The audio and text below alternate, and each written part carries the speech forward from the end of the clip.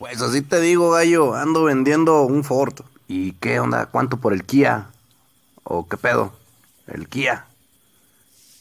No, no, no es Kia, es un Ford. El Kia Prieta, papá. Mm, ya valió verga.